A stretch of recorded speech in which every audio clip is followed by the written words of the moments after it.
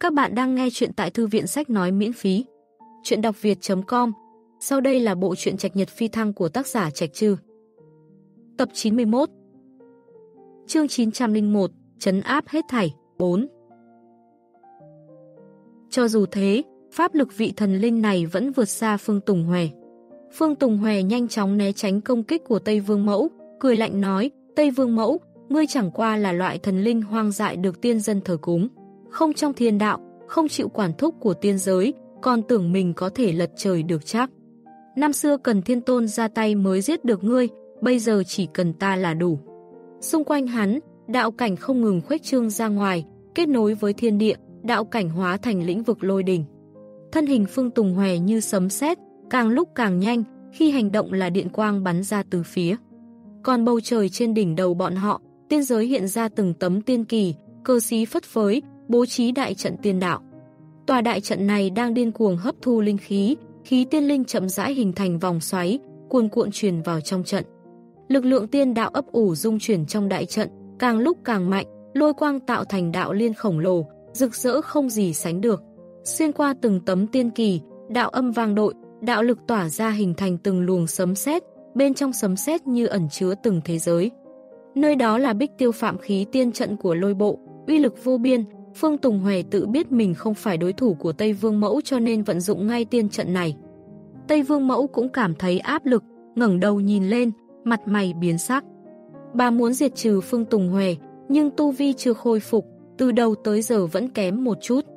Năm xưa bà là Tây Vương Mẫu cao quý trên Côn Lôn Thần Sơn, được tất cả sinh linh chư thiên vạn giới tháp hương thờ phụng, thần lực cường đại vô biên.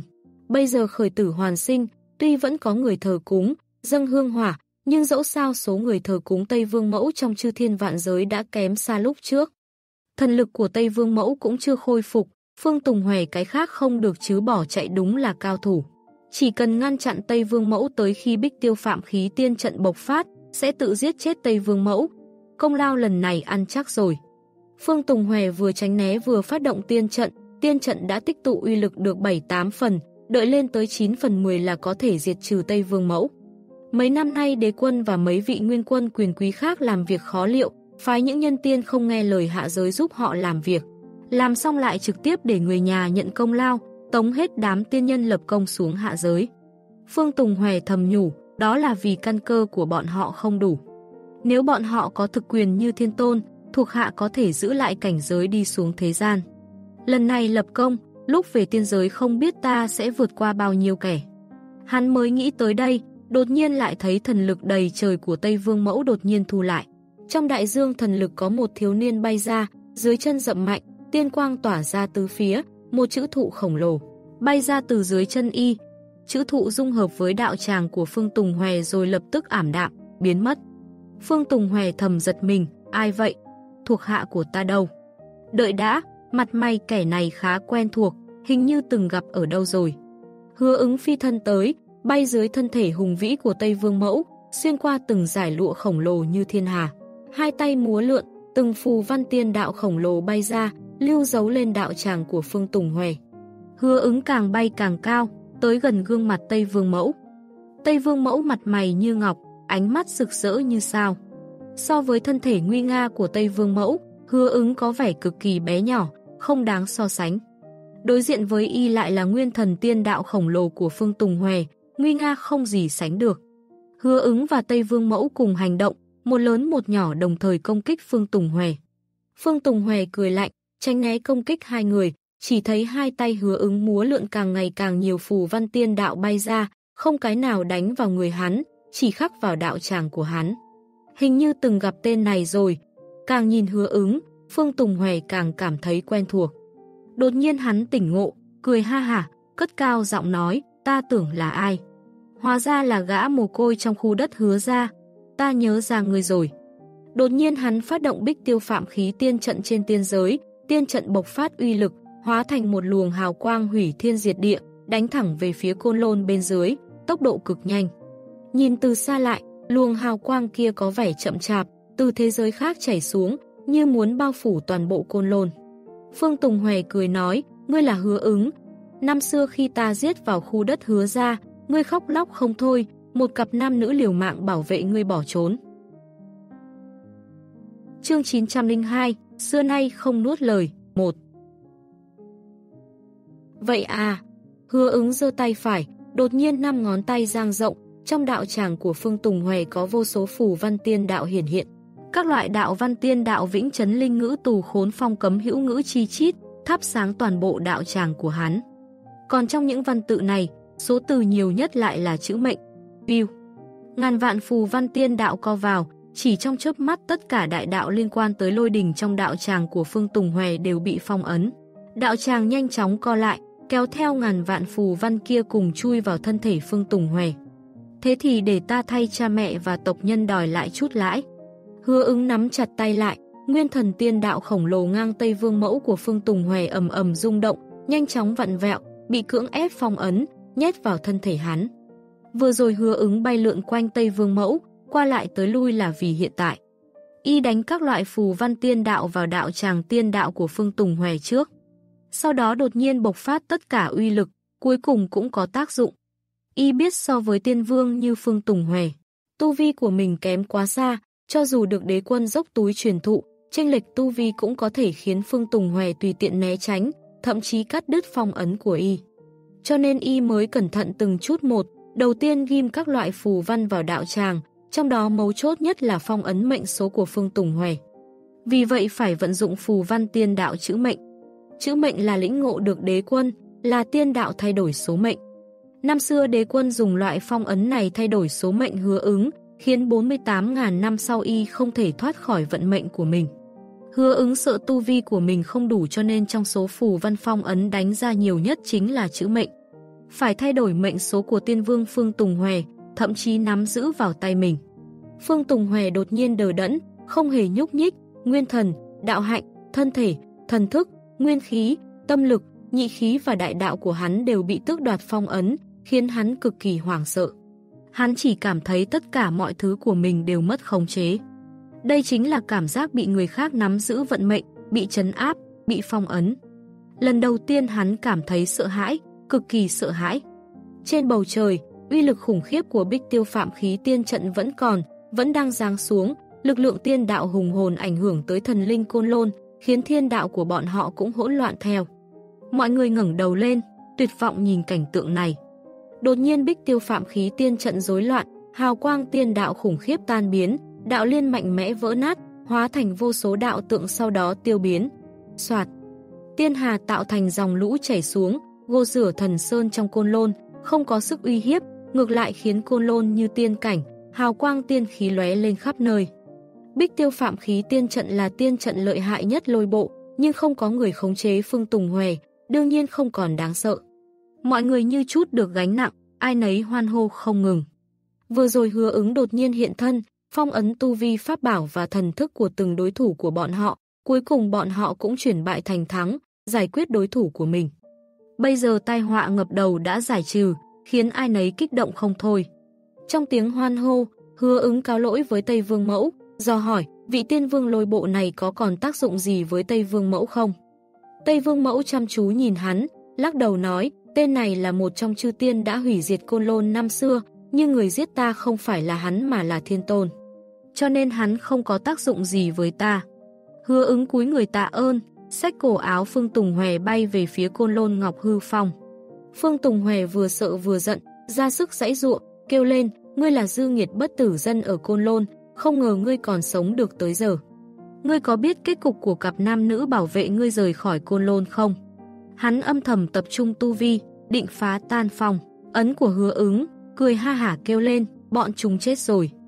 Bị thuộc hạ trong lôi đình đô ti của ta luyện chết bên ngoài Côn Lôn. Trái tim hứa ứng run rẩy kịch liệt nhưng vẫn giữ im lặng, tiếp tục kéo hắn bay tới Ngọc Hư Phong. Phương Tùng Hòe vừa sung kích phong ấn vừa cười lạnh nói, quan hệ giữa ngươi và bọn chúng rất gần gũi đúng không? Là sư huynh sư tỷ của ngươi, hay là huynh đệ tỷ muội của ngươi? Không đúng, còn thân thiết hơn nữa, là cha mẹ ngươi đúng không? Hắn ra sức xung kích phong ấn, nhưng khiến trong lòng hắn càng ngày càng nặng nề là hắn không thể khiến phong ấn dao động chút nào. Các bạn đang nghe chuyện trạch nhật phi thăng của tác giả Trạch Trư tại thư viện sách nói miễn phí, chuyện đọc việt.com Chương 903, xưa nay không nuốt lời, 2 Hắn là tiên vương tiếng tăm lừng lẫy tiên giới, cho dù trong lôi bộ nếu không có chút ít chỗ dựa thì đừng mơ leo lên trước tiên vương, nhưng đã ngồi lên ghế tiên vương thì vẫn phải có chút bản lãnh. Với bản lãnh của hắn mà cũng không phá được phong ấn của hứa ứng, thế này là sao? Bọn chúng là cha mẹ ngươi, lại chết trong tay ta, nhiều năm qua chắc ngươi rất đau đớn đúng không? Phương Tùng Hòe vừa nói vừa âm thầm phá giải phong ấn tiên đạo mà hứa ứng lưu lại trong người mình. Theo hắn thấy hứa ứng chỉ là luyện khí sĩ, cho dù phong ấn là phong ấn tiên đạo nhưng cùng lắm là cấp bậc nhân tiên địa tiên, không có nhiều đại đạo cao thâm. Chắc nhiều năm nay ngươi luôn muốn tìm ta báo thù đúng không? Nhưng ngươi hoàn toàn không biết kẻ thù là ta, đúng không? Đạo tâm của ngươi chịu dày vò, vặn vẹo, phong ấn của ngươi là cái quái gì vậy? Phương Tùng Hòe đổ mồ hôi lạnh đầm đìa, bấy giờ hắn mới phát hiện bản thân lại không hiểu được phong ấn mà hứa ứng đặt lên người mình. Phù văn tiên đạo mà hứa ứng lưu lại trên người hắn không nhiều chủng loại lắm, chỉ có 12 chữ thụ mệnh vĩnh chấn linh ngữ tù khốn phong cấm hữu ngữ. Nhưng đạo hạnh ẩn chứa trong 12 chữ này lại vượt xa cấp bậc tiên vương, đến mức hắn khổ sở nghiên cứu mà lại phát hiện trong thời gian ngắn không cách nào phá giải. Phá giải được ảo diệu trong đó còn không xong, đương nhiên càng không thể phá giải đạo Pháp. Phương Tùng Hòe thấy hứa ứng không đáp lời, tâm thần hoảng loạn. Lúc trước hắn cảm thấy mình có thể tùy tiện phá giải phong ấn, có thể giết chết hứa ứng bỏ trốn bất cứ lúc nào nên mới thông dòng như vậy. Nhưng bây giờ hắn lại phát hiện có lẽ mình phải tốn mấy trăm năm mấy ngàn năm mới tìm hiểu được ý nghĩa của phù văn này, muốn phá giải e là phải tới mấy ngàn năm, thậm chí mấy vạn năm. Chuyện này khiến hắn hết sức kinh hãi, hắn ra sức xung kích phong ấn, nhưng thân thể, nguyên thần, thần thức, nguyên khí, tâm lực, âm dương và đạo tràng. Đạo liên đều bị trấn áp phong ấn, lực lượng có thể vận dụng có hạn, căn bản là không cách nào phá được phong ấn. Cứ phá giải một phù văn trước đã, con mẹ nó đây là phong ấn quái gì vậy? Phương Tùng Hòe tức giận tới mức chửi ầm lên. Cuối cùng, bọn họ đi tới trước khu phế tích ở Ngọc Hư Phong. Hứa ứng buông Phương Tùng Hòe xuống, tự tay đào cánh cửa khu đất hứa ra chôn dưới lòng đất lên, dùng pháp lực tái tạo cánh cửa, dựng nó lại. Y nắm lấy chân Phương Tùng Hòe, kéo Phương Tùng Hòe vào trong phế tích. Phương Tùng Hòe bất chấp, nhắm mắt lại, dốc toàn bộ năng lực suy tính phương pháp giải mã phủ văn. Hứa ứng buông chân hắn ra, vận dụng pháp lực cắt núi đá chế tạo một đàn tế. Phương Tùng Hòe trợn tròn mắt nhìn đàn tế này, tâm thần rối loạn, vội vàng kêu lên, ngươi làm gì đấy? Ngươi chế tạo đàn tế làm gì? Ngươi đừng làm bậy. Ta là tiên vương của lôi bộ trên tiên giới, ngươi biết lai lịch của ta lớn nhường nào không? Ngươi biết chỗ dựa của ta ra sao không? Ông cháu ba đời nhà ta đều là tiên vương trên tiên giới, ngươi dám động tới ta. Nếu ngươi động tới ta, người Hứa ứng không nói một lời, tế ra thủy hỏa hỗn thiên đỉnh đặt trước đàn tế, kéo chân Phương Tùng Hòe đi lên đàn tế, để hắn quỳ gối chính giữa đàn tế. Phương Tùng Hòe biến sắc, lớn tiếng nói, hứa ứng. Hứa đạo hữu, có gì từ từ rồi nói, ta cũng chỉ phụng lệnh làm việc mà thôi. Lỗi không ở ta, ta là đồng lõa chứ không phải chủ mưu. Hứa ứng đi xuống đàn tế, lấy vài nén hương ra dơ lên cao rồi khấn thầm, một lúc lâu sau mới cắm vào đỉnh. Phương Tùng Hòe vội vàng nói, đạo hữu, đạo hữu, ta không giết cha mẹ ngươi, ta không giết thật mà. Bản lĩnh của bọn họ rất lợi hại, trốn thoát khỏi tay ta, ta không giết bọn họ thật mà. Hứa ứng mở to mắt, cô nén cơn kích động trong lòng, giọng nói khàn khàn, ngươi nói là bọn họ còn sống. Phương Tùng Huệ kêu lên, bọn họ còn sống. Hứa đạo hữu, chỉ cần ngươi không giết ta, ta sẽ kết hết chuyện năm đó cho ngươi. Hứa ứng gật nhẹ đầu nói, được, ta không giết ngươi, ngươi nói đi.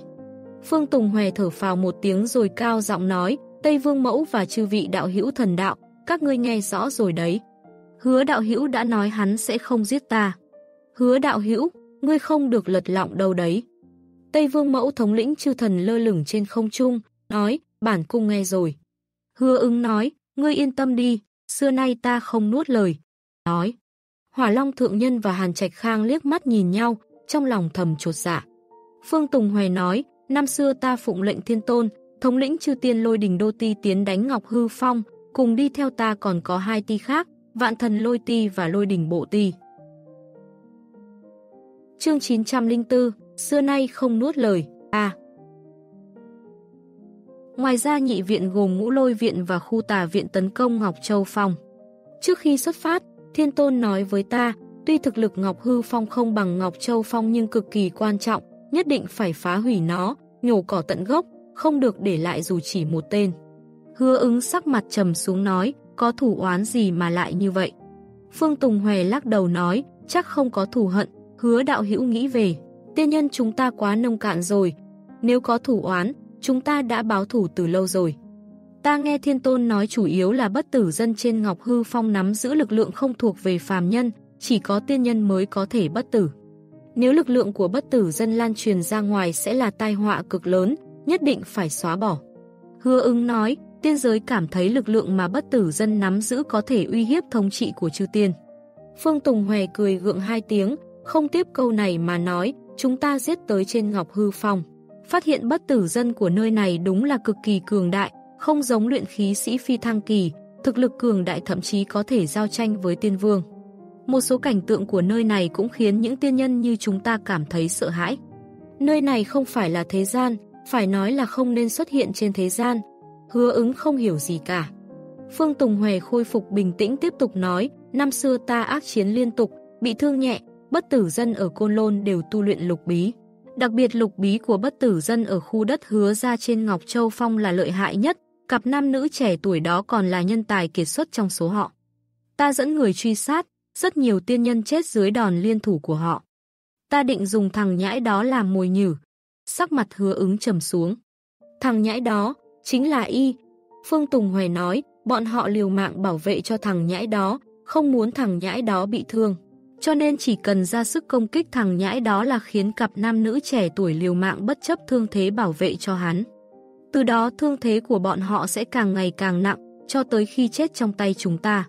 Lúc đầu kế sách này cực kỳ thuận lợi, quả nhiên bọn họ đã bị thương, nhưng người bên cạnh ta cũng càng ngày càng ít.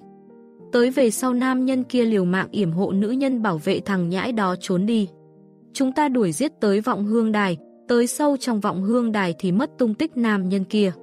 Hắn dừng lại một chút rồi nói, ta không dám đuổi tiếp, bên trong vọng hương đài cực kỳ khủng khiếp, ta lo mình rơi vào đó là vĩnh viễn không về được. Ta là tiên vương, còn tương lai tốt đẹp phía trước, sao phải chịu chết. Bên cạnh ta còn hai vị tiên nhân, đều là thuộc hạ của ta, nhưng chuyện ta không giết sạch bọn chúng tuyệt đối không được truyền ra ngoài, cho nên... Khóe mắt hắn run run nói, ta tiễn hai vị hảo huynh đệ lên đường rồi mới rời khỏi vọng hương đài, tìm hai mẹ con kia. Ta đuổi tới thế giới phúc thanh, thấy bóng dáng nữ nhân kia, đuổi tiếp thì lại mất dấu. Ta tìm khắp thế giới phúc thanh cũng không thấy thiếu niên kia đâu mới biết mình trúng kế điệu hổ ly sơn. Chắc chắn cô ta đã đưa thằng nhãi ấy tới thế giới khác, cố tình lưu lại tung tích dẫn ta đến thế giới phúc thanh. Hứa ứng chờ trong giây lát, trong lòng dâng lên cảm giác hy vọng, truy hỏi, sau đó thì sao? Phương Tùng Hoài nói, sau, đó. Sau đó ta trở lại Côn Lôn, báo cáo đã giết chết ba người kia, tiên tướng bên người đã chết sạch. Cứ thế bàn giao lên trên. Hứa ứng nói, chỉ có thế thôi. Phương Tùng Hòe gật đầu nói, năm xưa chúng ta tiêu diệt Côn Lôn không được triệt để, vẫn có một số bất tử dân chạy khỏi Côn Lôn, truyền bá lục bí ra ngoài. Sau này ta tới thế gian tra xét, phát hiện bọn họ không truyền bá pháp môn lục bí thật sự, cũng thấy yên lòng. Khi đó ta nghĩ có lẽ cặp nam nữ thật sự tinh thông lục bí đã trọng thương bỏ mình. Nhưng, hắn liếc mắt nhìn hứa ứng một cái thoáng trần trừ nhưng vẫn nói, nếu ngươi vẫn còn sống, có lý nào bọn họ lại không sống được. Hứa ứng trong lòng nôn nóng, lầm bẩm, đúng vậy, nếu ta vẫn còn sống, đương nhiên bọn họ cũng vẫn sống. Khi đó bọn họ cường đại như vậy mà. Y nhắm mắt lại, hai hàng lệ trượt xuống bên má. Sau lưng Y, đột nhiên sát khí bừng bừng, một thanh kiếm gãy chậm rãi hiển hiện. Thanh kiếm vừa xuất hiện, gió lốc lập tức nổi lên bốn phía, trong gió thi thoảng lại có thiên địa đại đạo gào thét, hình thành từng luồng khí đen. Trong lúc nhất thời, nhật nguyệt ảm đạm, sát ý xâm nghiêm phủ kín thiên địa, ngay cả chư thần Côn Lôn cũng cảm thấy thần lực bản thân như muốn đứt đoạn dưới thanh kiếm gãy. Các bạn đang nghe chuyện trạch nhật phi thăng của tác giả trạch chư tại thư viện sách nói miễn phí, chuyện đọc việt.com Chương 905, Côn Lôn Ngọc Hư Cung, 1 Phương Tùng Hòe vội vàng kêu lên, hứa ứng, ngươi làm gì vậy? Ngươi đã hứa với ta sẽ tuyệt đối không giết ta cơ mà. Nếu ngươi giết ta là vi phạm đạo tâm, tu vi khó lòng tiến bộ. Chư thần Côn Lôn, Tây Vương Mẫu, vừa rồi mọi người đã chứng kiến. Tây Vương Mẫu trần trừ một chút, mở miệng nói, nhóc họ hứa. Xoẹt. Kiếm quang lóe lên, chém qua tế đàn tầm thường này, sát khí đầy trời đột nhiên thu liễm. Hứa ứng thu chu tiên kiếm khí, gương mặt bình tĩnh nói, bất cứ chuyện gì, ngay cả lời thề mà ta đã nói, cũng không thể ngăn ta báo thủ. Phương Tùng Hòe thần sắc đờ đẫn quỳ gối trên đàn tế, đột nhiên đầu trượt khỏi cổ. Cùng lúc đó, nguyên thần của hắn cũng đầu một nơi thân một nẻo, chết oan chết uổng. Sát ý của Chu Tiên kiếm khí quá cường đại, cắt đứt tất cả tiên đạo trên người hắn, chặt đứt tất cả sinh cơ. Ngay cả thần hồn cũng bị diệt trừ, bất cứ thủ đoạn giữ mạng nào, trước thanh kiếm này cũng là vô dụng. Phương Tùng Hòe chỉ còn một chút bất diệt chân linh bay về phía cõi âm. Hứa ứng cúi người trước đàn tế, hạ giọng nói, tất cả người thân khu đất hứa ra đã bỏ mạng tại đây, ta sẽ tự tay đâm kẻ thù, báo thù rửa hận cho mọi người. Một lúc lâu sau y mới nâng người dậy, Tây Vương Mẫu nhìn bóng lưng y, trong lòng thầm nhủ, một người bị thù hận tra tấn, bất chấp mọi thủ đoạn, là cực kỳ đáng sợ. Ta cần người như vậy, chỉ có người như vậy mới có thể lật tung bầu trời này. Tây Vương Mẫu thầm nghĩ, Côn Lôn quá suy yếu, tới tận bây giờ bà vẫn chưa thể khôi phục trạng thái đỉnh phong, muốn khôi phục lại đỉnh phong thì phải đoạt lại hương hỏa toàn bộ chư thiên vạn giới, dựng lại hệ thống thiên thần. Nhưng bây giờ chúng sinh chư thiên vạn giới chỉ biết thế giới thiên đạo, tôn thờ thiên thần trong thế giới thiên đạo, nào biết tới côn lôn. Đám thiên thần mù chữ chiếm cứ vị trí trên cao, đối với những thần linh cổ xưa ở côn lôn cảnh không khác nào sỉ nhục. Còn vấn đề nắm giữ hương hỏa của toàn bộ vạn giới thì cần lật đổ thế giới thiên đạo hiện tại, vì vậy Tây Vương Mẫu và Hứa ứng đang có chung mục tiêu. Hứa ứng lễ bái tộc nhân khu đất hứa ra xong, đứng dậy, chư thần Côn Lôn đã quét dọn xong chiến trường. Trên bầu trời tiên giới cũng từ từ biến mất không còn tung tích. Lôi bộ nhất phủ nhị viện Tam Ti, lôi đình đô ti trong Tam Ti đã bị diệt, không thể coi thường. Tây Vương Mẫu lo lắng nói với hứa ứng và nữ tiên, lôi bộ nổi giận, lôi bộ thiên tôn sẽ giáng lâm, tái diễn cảnh hủy diệt côn lôn năm xưa. Nữ tiên nói, bây giờ tiên giới đang có quá nhiều tiên nhân, người nhiều hơn việc, lôi đình đô ti bị diệt, chẳng bao lâu sau sẽ được gây dựng lại, lực lượng lôi bộ không hề suy giảm. Nhưng lôi bộ thiên tôn nổi giận, chắc chắn sẽ thống lĩnh nhất phủ nhị viện tam ti thân trinh công kích. Kê sách bây giờ chỉ có né tránh. Tây Vương Mẫu nói, làm sao né tránh? Hứa ứng trong lòng máy động, do hỏi, Côn Lôn có thể tới tổ đình không? Tây Vương Mẫu thoáng trần trừ rồi đáp, Côn Lôn vốn là một bộ phận của tổ đình, đương nhiên cũng có thể về tổ đình. Chỉ có điều Côn Lôn là lối đi duy nhất kết nối tổ đình với chư thiên vạn giới, nếu Côn Lôn trở về tổ đình, chỉ e cắt đứt con đường nhận tổ quy tông của chư thiên vạn giới. Hứa ứng nói, con đường đi tới ma vực không chỉ có Côn Lôn. Lúc ở thế giới nguyên sơ ta đi qua biển lửa vô lượng tới tổ đình. Tây Vương Mẫu nghi hoặc, không đúng, thế giới nguyên sơ đã biến mất từ lâu rồi, sao lại xuất hiện? Hơn nữa sao nguyên sơ lại nối tới tổ đình? Kỳ quái! Hứa ứng nghe vậy giật mình cười nói, thế giới nguyên sơ nối tới tổ đình có gì kỳ quái. Tây Vương Mẫu nói, con đường tới tổ đình chỉ có côn lôn, nếu không sao lại gọi nơi này là đất tổ. Hơn nữa đại thế giới nguyên sơ đã biến mất khỏi chư thiên vạn giới từ hơn 10 vạn năm trước, lần này đột nhiên xuất hiện, chắc chắn có nguyên nhân. Hứa ứng trong lòng máy động nói, trong đại thế giới nguyên sơ có hiện tại thiên địa đại đạo cổ đại khôi phục, bồng lai tiên chủ, mạnh vô hoài gọi là ma vực xâm lấn. Liệu điều này có liên quan tới chuyện thế giới nguyên thú nối liền với tổ đình không? Ngoài ra có lẽ hơn 4.000 năm trước tổ đình đã nối liền với thế giới nguyên thú. 4.000 năm trước ta đi thuyền ra biển, tới tổ đình, tìm được phương trượng tiên sơn ở nơi đó. 4.000 năm trước y ra biển, chính là lúc y và Từ Phúc cùng bước vào hành trình tới ma vực. Tây Vương Mẫu Cảng, kinh ngạc, có nhiều con đường tới tổ đình như vậy à? Không thể nào thiên địa đại đạo thời cổ đại khôi phục thì càng không thể. Chương 906, Côn Lôn Ngọc Hư Cung 2 Hứa ứng hỏi thăm, đạo hữu có biết vì sao thiên địa đại đạo thời cổ đại hóa thành tĩnh lặng không? Tây Vương Mẫu lắc đầu nói, ta cũng không rõ lắm, chỉ nghe nói có liên quan tới chuyện triều tịch dẫn tới đạo khô. Triều tịch, đạo khô, hứa ứng nghi ngờ nói, chẳng lẽ là tam giới triều tịch? Lần đầu tiên y nghe tới triều tịch là từ miệng viên thiên cương, nhắc tới tam giới triều tịch. Viên thiên cương nói tiên giới, cõi âm và chư thiên vạn giới sẽ có hiện tại triều tịch, có tiên duyên xuất hiện. Không biết triều tịch mà Tây Vương Mẫu nói tới có liên quan gì không? Tây Vương Mẫu lắc đầu, chắc không phải. Tam giới triều tịch là tiên giới, cõi âm và chư thiên vạn giới khoảng khác quá gần, gây ra ảnh hưởng, triều tịch thời cổ đại có uy lực càng dữ dội. Nhưng cụ thể thì triều tịch và đạo khô do cái gì gây ra, bà cũng không biết. Hứa ứng chìm vào trầm tư, thiên địa đại đạo trong đại thế giới thái thủy khôi phục có lẽ là do huyền không đào được phong ấn của Phật. Còn thế giới nguyên trinh cũng có dấu hiệu khôi phục. Biển cả của thế giới nguyên thú nối liền với tổ đình, đại thế giới nguyên sơ đã biến mất từ lâu còn giáp danh với tổ đình, nhưng chuyện này đều rất kỳ quái. Y đặt những nghi hoặc này vào đáy lòng, nói, Tây Vương Mẫu, nếu có con đường khác dẫn tới tổ đình, thế thì Côn Lôn có thể vào tổ đình tránh họa. Trong tổ đình ta có chút thế lực, một số người trong tổ đình cũng nể mặt ta, hay là cứ quyết định như vậy đi, rời Côn Lôn tới tổ đình. Tây Vương Mẫu tán thành, cười nói, nhóc họ hứa, chuyện di chuyển giao cho ta và nữ tiên, ngươi muốn tới Ngọc Hư Cung, ta đã chuẩn bị ổn thỏa rồi, hay là ngươi vào Ngọc Hư Cung trước đi. Hứa ứng vội vàng cảm tạ. Tây Vương Mẫu và y đi lên đỉnh Ngọc Hư Phong, nơi này từng là hành cung của Hoàng đế, bây giờ chỉ còn lại một vùng phế tích. Hai người cùng leo lên thần kiều, thần kiều của nơi này đã đứt đoạn, không cách nào tiến vào Ngọc Kinh, phải dựa vào động thiên tổ Pháp Na Sư của hứa ra để nối liền tới Ngọc Kinh.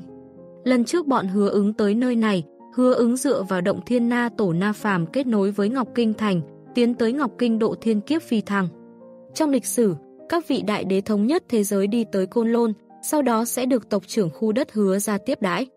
Tộc trưởng sẽ dẫn bọn họ đi lên thần kiều, dùng động thiên na sư nối liền đoạn thần kiều cuối cùng, kết nối với Ngọc Kinh. Tây Vương Mẫu cảm khái nói, nhưng đã rất lâu rồi không ai dùng quy củ này. Sau trận chiến 48.000 năm trước, nơi này không còn tộc nhân hứa ra tiếp đón. Hứa ứng phát động động thiên tiên giới, tiên quang trong động thiên bay ra, hóa thành một thần kiều, nối liền với thần kiều dưới chân bọn họ, trải dài tới Ngọc Kinh thành trong hư không. Tây, Vương Mẫu và bọn họ cùng đi vào Ngọc Kinh, tới đàn tế trời của các bậc đại đế. Các đại đế sẽ tế trời ở nơi này, cũng phi thăng ở nơi này.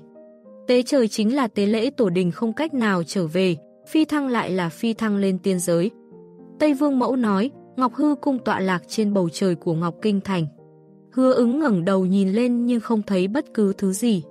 Ngọc Kinh như một tòa bỉ ngạn, nằm giữa hư không, thậm chí không trong chư thiên vạn giới, không ở cõi âm, không tại dương gian, không nằm trong tiên giới. Y nhìn ra phía ngoài, không thấy côn lôn, cũng không thấy bất cứ thế giới nào, chỉ thấy một thần kiều lẻ loi trơ trọi bồng bềnh trong hư không, nối tới Ngọc Kinh Thành. Phía cuối thần kiều là một luồng sáng.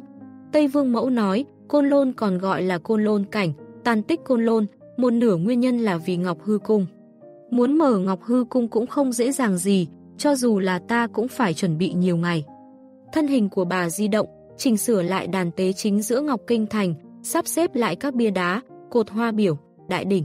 Lại lấy ra cờ xí dựng xung quanh đàn tế, bên trên vẽ hình thù kỳ dị, như phù văn tiên đạo mà lại không phải, có vẻ giống đạo văn nhưng cũng có chỗ khác biệt. Tây Vương Mẫu đứng trên đàn tế, điều động thần lực, thần lực minh mông thâm thúy như đại dương. Hình vẽ trên bia đá, cột hoa biểu, đại đỉnh và cờ xí dồn dập sáng lên.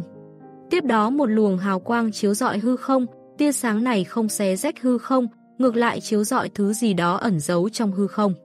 Hứa ứng ngẩng đầu nhìn lên, quả nhiên thấy nơi hào quang chiếu tới có một khoảng thiên địa, thần thánh không gì sánh được. Chắc nơi đó là Ngọc Hư Cung, nhưng cảnh tượng này lại giống như ảo ảnh y thấy trong Tu Di Sơn. Các bạn đang nghe chuyện trạch nhật phi thăng của tác giả Trạch Trư tại Thư viện Sách Nói miễn phí, chuyện đọc việt.com Chương 907, Côn Lôn Ngọc Hư Cung, A Lúc ở Đại Lôi âm tự y đã thấy trong thời cổ đại trên Tu Di Sơn có một thế giới khác thời không khác, Chu Phật tọa chấn trong đó. Còn bây giờ trên Côn Lôn Sơn có thời không của thế giới khác, dù sao cũng khá tương tự. Hứa ứng khẽ cúi người với Tây Vương Mẫu rồi lập tức phi thân lên, lao vào trong hào quang trên tế đàn. Thân hình y vừa tiến vào luồng sáng đó là thấy cảnh tượng trước mắt biến ảo, xoay tròn liên tục. Hứa ứng cứ như bước vào một con đường nào đó, thân hình không chịu khống chế, bị kéo tới vùng đất không biết. View, trong cột sáng, thân hình hứa ứng biến mất, cột sáng kia cũng hóa thành ảm đạm, cuối cùng hạ xuống tế đàn. Hình vẽ biến hóa khó lường trên bia đá, cột hoa biểu, cơ sĩ xung quanh cũng tắt dần, tất cả khôi phục như lúc đầu. Tây Vương Mẫu nhìn ra ngoài Ngọc Kinh Thành, nữ tiên đã đi tới bên trên thần kiều. Tây Vương Mẫu nói với nữ tiên, đạo hữu, chúng ta ở đây khơi thông đường tới tổ đình, di chuyển côn lôn tới tổ đình. Nữ, tiên ngồi kết già, nguyên thần hiển hiện sau lưng, Tây Vương Mẫu cũng khoanh chân ngồi xuống, hai người đối diện, ai nấy làm phép. ầm ầm Hư không chấn động kịch liệt, trong hư không đột nhiên có mây mù lượn lờ cuốn tới, vô số không gian nhanh chóng trôi qua, một lúc lâu sau thiên địa đại đạo dị vực ập tới. Thiên địa của tổ đình xuất hiện ở đầu khác của hư không. Nữ tiên lập tức bộc phát thần thức cường đại của mình, kết nối với tổ đình, côn lôn thần sơn khổng lồ sáng tối chập chờn rơi xuống tổ đình. Khu vực cực tây của tổ đình, một loạt cự thú viễn cổ mãng thiên thanh ngưu đang ăn long huyết linh lăng trong lâm nguyên. Đám quái vật này khổng lồ như từng ngọn núi lớn, khu rừng long huyết linh lăng rộng lớn vạn dặm. Đúng lúc này đột nhiên giữa thiên địa vang lên tiếng sấm cuồn cuộn, mãng thiên thanh ngưu dồn dập ngẩng đầu lên, giơ cái sừng trâu khổng lồ cảnh giác nhìn bốn phía. Bọn chúng nghe thấy tiếng sấm nhưng lại không thể thấy tiếng sấm từ đâu tới. Đám dân du mục trên lưng mãng thiên thanh nghiêu cũng dồn dập nhìn bốn phía. Trên lưng mãng thiên thanh nghiêu thường có một thôn trang nhỏ, nhân số không nhiều, khoảng mấy chục người, chăn nuôi sinh sống.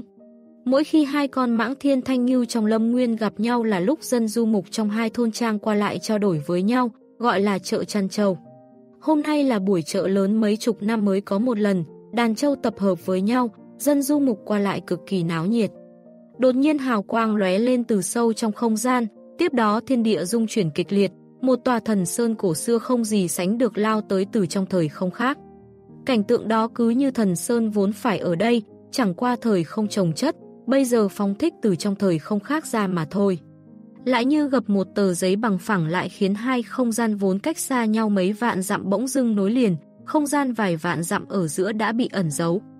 Còn bây giờ tờ giấy mở ra, không gian mấy vạn dặm lập tức hiển hiện. Khó khăn lắm bầy mãng thiên thanh nghiêu mới tập hợp thành chợ chăn châu, lại thấy hào quang lóe lên. Chợ chăn châu bị chia thành hai bên trái phải, chính giữa là cả khu vực tàn tích côn lôn lên tới vài vạn dặm. Cuối cùng cũng trở về tổ đình rồi. Tây Vương Mẫu trong lòng vui vẻ.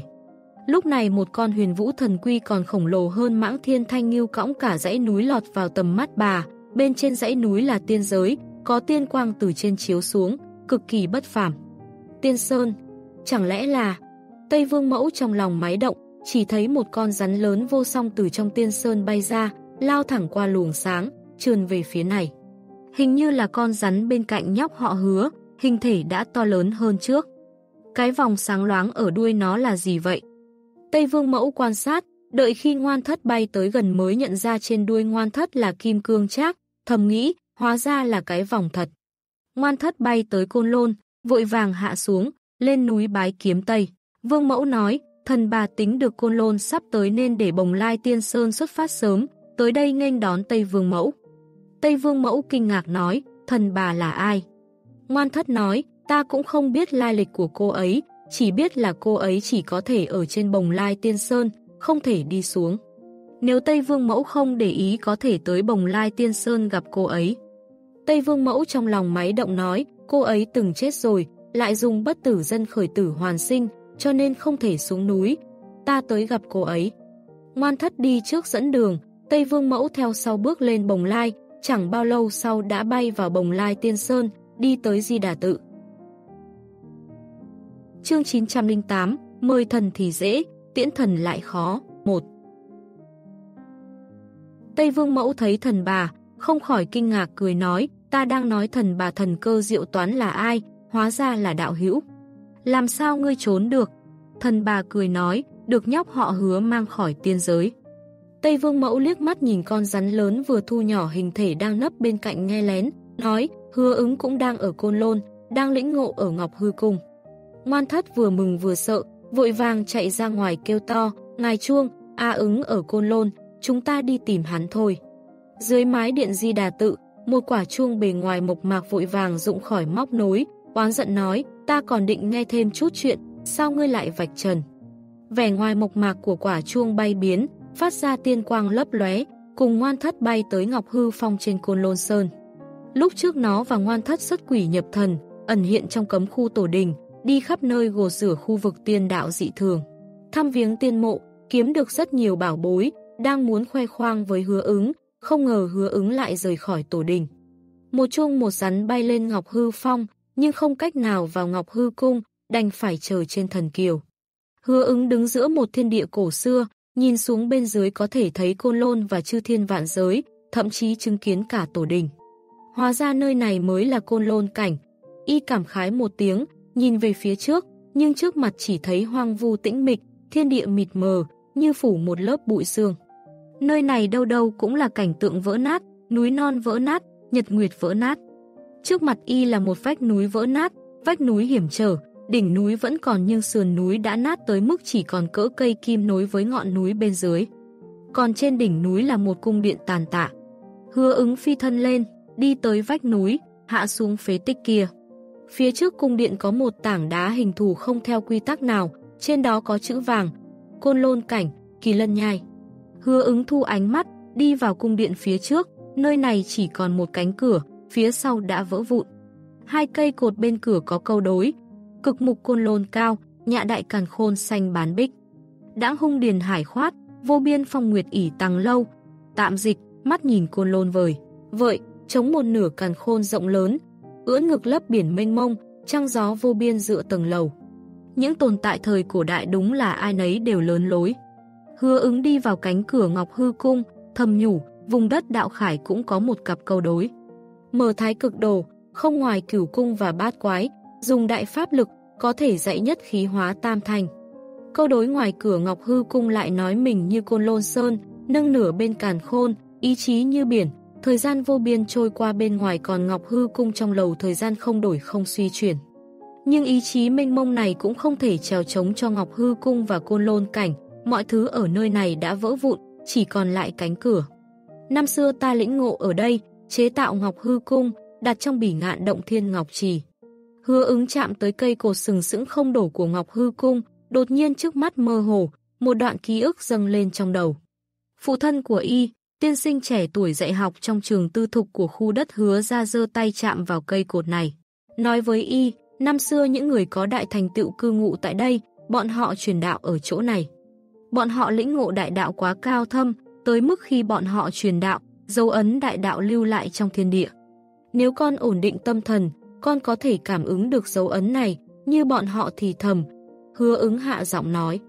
Như bọn họ thì thầm, lại như đại đạo ngâm vang, như khoảng thiên địa này đang thuật lại vạn tượng. Những gì y nhẩm lại là lời nói của phụ thân khi đó. Nơi này là đạo tràng của bọn họ, bọn họ gọi là Đại La. Người đạt được đại thành tựu ở nơi này bỏ lại đạo tràng Đại La này. Phụ thân của y nói, vì sao bọn họ lại từ bỏ nơi này? Hứa ứng thấy trong trí nhớ có một bản thân nhỏ hơn ngẩng đầu lên hỏi. Phụ thân lắc đầu nói, không biết. Có lẽ bọn họ bất đắc dĩ rời khỏi nơi này, có lẽ bọn họ phát hiện thứ gì đó tốt hơn. Sau khi bọn họ đi khỏi, nơi này cũng hoang phế, đại đạo tan rã, bầu trời tan thành từng mảnh, mặt đất hóa thành hoang vu. Đột nhiên hứa ứng thấy một bản thân khác, là y trong kiếp đầu, chắc là sau khi côn lôn bị hủy diệt, có vẻ trưởng thành hơn, thậm chí còn thành thục hơn mình một chút. Bây giờ thân thể của hứa ứng vẫn duy trì ở 14 tuổi, có lúc y còn phiền não vì chỉ có mỗi một cọng lông. Các bạn đang nghe chuyện trạch nhật phi thăng của tác giả trạch trư tại thư viện sách nói miễn phí, chuyện đọc việt.com Chương 909, mời thần thì dễ, tiễn thần lại khó, 2 Kiếp thứ nhất của hứa ứng có vẻ trưởng thành hơn, trông như y khi 17-18 tuổi, trở lại nơi này. Hắn chính là ta trong kiếp đầu. Hứa ứng quan sát cẩn thận cảnh mình hồi tưởng, dường như lúc đó y cũng chìm vào hồi ức với phụ thân. Sau đó y ngồi xuống, gương mặt bình tĩnh, cảm ứng dấu ấn tiên thần thời cổ đại giải rác giữa thiên địa. Hứa ứng bình tĩnh đứng, bên cạnh bản thân trong quá khứ, các loại cảm ngộ ùn ùn kéo tới. Kiếp đầu của y ngộ đạo ở chỗ này, nhận được cảm ngộ, lại dựa vào cảm ngộ đó chế tạo ngọc hư cung, đặt trong bỉ ngạn ngọc trì. Ký ức của y khôi phục càng lúc càng nhiều, từ khi y phá giải hoàn toàn năm chữ phong ấn linh ngữ tù hữu ngữ, thi thoảng ký ức kiếp đầu của y lại được mở ra. Ký ức của kiếp đầu như một kho báu, giúp y giảm bớt vô số thời gian. Nhưng nếu không có ký ức kiếp này, y phải lưu lại ở Ngọc Hư Cung, trong côn lôn cảnh. Thu thập dấu ấn tiên thần giải rác trong thiên địa, lý giải thiên địa đại đạo vỡ nát này, chỉnh lý lắp ghép những dấu ấn.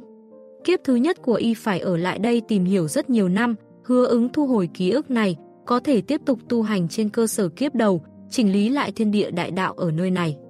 Nhưng y vẫn chưa khôi phục hoàn toàn ký ức kiếp đầu, chẳng qua lần này tới nơi đây tức cảnh sinh tình khiến y tình cờ nhớ lại trải nghiệm năm xưa tại nơi này. Nếu đổi lại là nơi khác, chưa chắc đã có hiệu quả như vậy. Phong ấn của y còn 11 chữ thụ mệnh vu thiên thử sinh vĩnh chấn nhân phong cấm, cùng với 8 chữ hoang thương lệ ai bạo ngược phức hôn. Chỉ có phá giải 19 chữ phong ấn này, ký ức của y mới khôi phục hoàn toàn.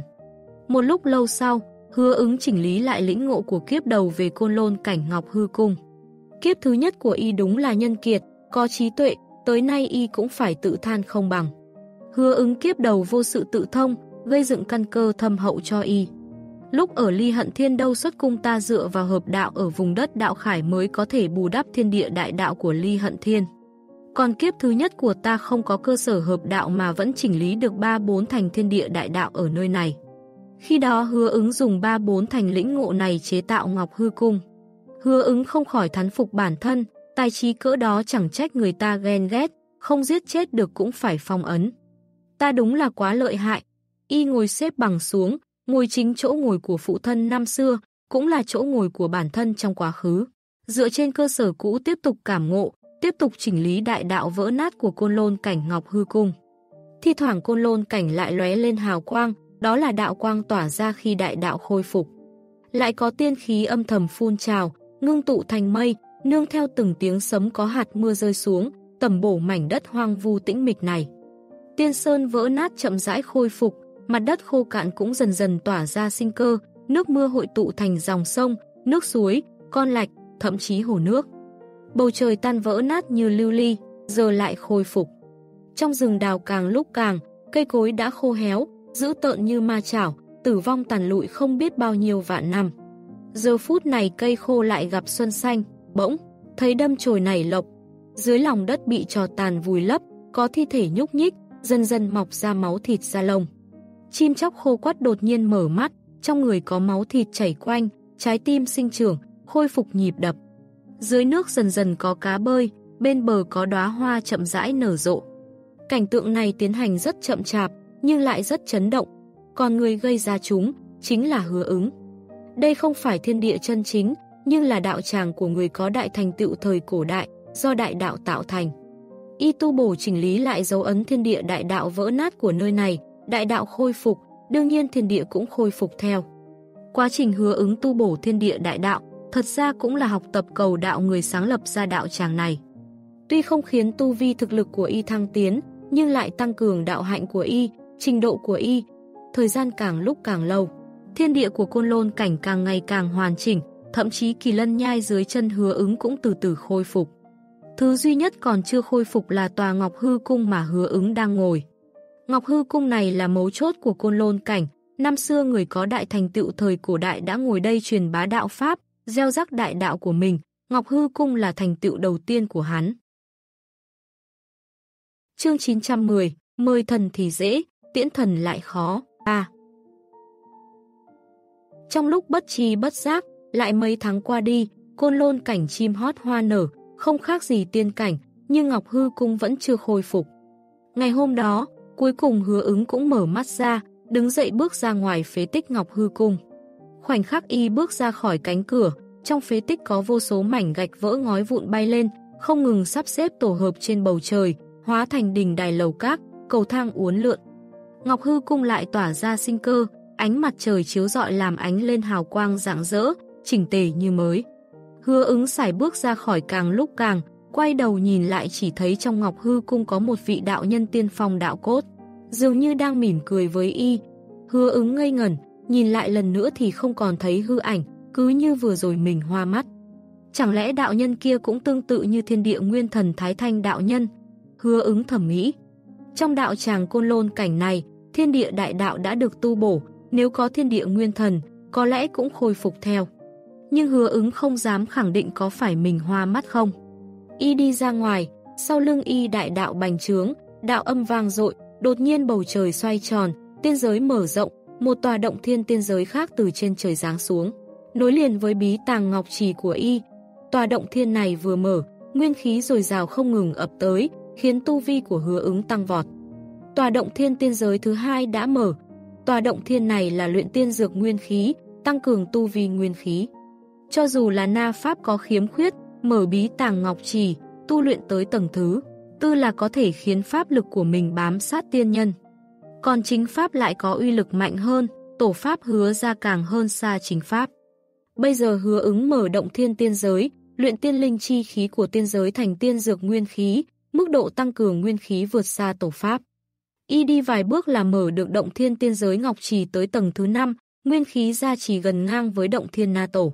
Có thể thấy nếu tu luyện tới tầng thứ 9, gia trì nguyên khí sẽ tăng lên đáng sợ ra sao. Hứa ứng chậm rãi hạ xuống từ hư không, bay tới trên Ngọc Kinh Thành.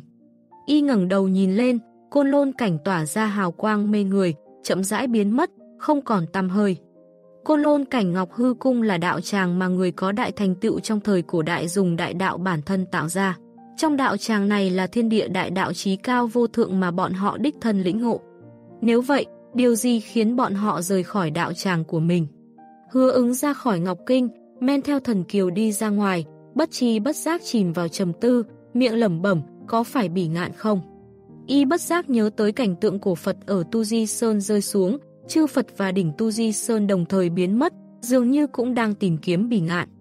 Có lẽ người có đại thành tựu ở Côn Lôn cảnh Ngọc Hư Cung cũng đi tìm bỉ ngạn nên mới rời khỏi đạo tràng, dẫn tới đạo tràng xa sút tàn tạ. Nhưng vì sao tăng nhân trẻ tuổi lại lớn tiếng cảnh cáo ta, bảo ta rời khỏi bỉ ngạn? Nghĩ tới đây đột nhiên lại nghe một tiếng chuông vang lên, âm thanh du dương khiến y bừng tỉnh. À ứng. Hứa ứng vội vàng ngẩng đầu lên đã thấy ngoan thất và quả chuông men theo thần kiều bay ảo ảo tới, tiếng chuông lanh keng rung động, đuôi rắn cũng rung như gợn sóng. Hai tên này hưng phấn khó tả, nhanh chóng chạy tới bên cạnh y, ngươi một câu ta một câu. Có oán trách y bỏ lại mình, có lời kể lại mọi chuyện trong thời gian qua, hoàn toàn không cho hứa ứng nói xen vào. Hứa ứng chỉ mỉm cười lắng nghe, đột nhiên chú ý thấy cái vòng bạc trên đuôi ngoan thất, lập tức biến sắc nói, thất ra, ngươi lấy đâu ra cái vòng này vậy? Ngoan thất thấy y chú ý tới cái vòng bạc trên chóp đuôi mình, không khỏi đắc ý nói, ứng tử. Ta dùng chính món bảo vật này thu khắp thiên hạ, gây họa cho một loạt khu vực tiên đạo dị thường trong tổ đình. Cầu tử bắt được ta, bị ta thu mất thiên kích. Ứng tử, cầu tử. Hứa ứng khóe mắt giật giật, biết ứng tử là mình, còn cầu tử chắc là tiểu thiên tôn.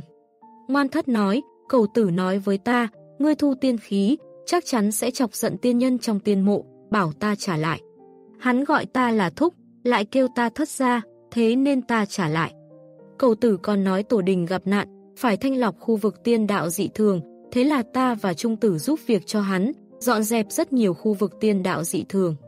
Hứa ứng nhấn mạnh thêm, thất ra, vòng bạc này tuy tốt nhưng là cả bẫy. Người, nhận lợi ích thì phải gánh chịu nhân quả.